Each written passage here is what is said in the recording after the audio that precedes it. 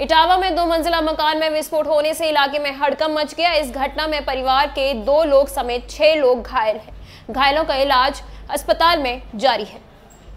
इटावा जनपद के थाना इकदिल इलाके के गुलियात मोहल्ले में दो मंजिला मकान में विस्फोट हो जाने से इलाके में हड़कम मच गया। इस विस्फोट की चपेट में आए घायल दूर जाकर गिरे। घटना की जानकारी स्थानीय पुलिस अधिकारी एवं फायर ब्रिगेड को लगी तो मौके पर पहुंचकर रेस्क्यू किया गया। सभी घायलों को इलाज के लिए अस्पताल भिजवाया गया, जहाँ पर डॉक्टर की देखरेख में घायलों का इलाज जारी है।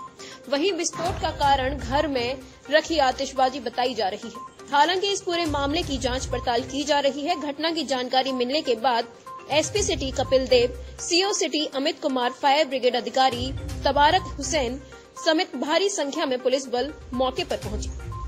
प्रातः दर्पण न्यूज़ के लिए इटावा से चंचल दुबे की रिपोर्ट। उनको हॉस्पिटल पहुँचा दिया गया है। चार लोगों का साधारण सा इलाज होकर कस्बे में ही वो अपने घर चले गए हैं। दो लोगों को सैफई पीजीआई में भेजा गया है। अभी तक विस्फोट का कारण क्या समझ में आ रहा है? क्या लोगों ने बताया? यहाँ पर मौजूद लोग हैं। देखिए इस घर में जो रह रही थी जो रिफाकत अंसारी जिनका घर है उनकी बहन है यहाँ की तो उन्होंने बताया कि ऊपर तीन सिलेंडर रखे हुए थे दो बड़े एक एक छोटा सिलेंडर। उनका यही कहना है कि सिलेंडर में आवाज़ हुई तो वो सभी लोग निकल करके बाहर आए।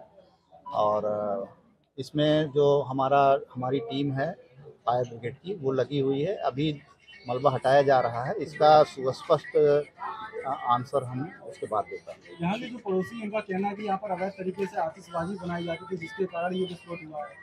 पहले तीन साल पहले ये सूचना मिली है कि बनाया जाता था। इनके एक परिवार वाले बनाते थे जिनका प्लॉट कहीं बाहर है। लेकिन कुछ लोगों का बताना है कि अभी तीन दिन के लिए दीपावली में इन्हें अनुमति मिली थी और प्रॉपर अनुमति मिली थी, लेकिन अंदर जो अभी देखा गया है, उसमें पटाखे या इस तरह का जो हमारे फायर सर्विस के लोगों ने देखा है, उस तरह का कोई अंश नहीं पाया जा रहा है। फ़िलहाल थोड़ा सा टाइम दे करके इसको जो सही जाँच है, वो कराई जा रही है। ठीक।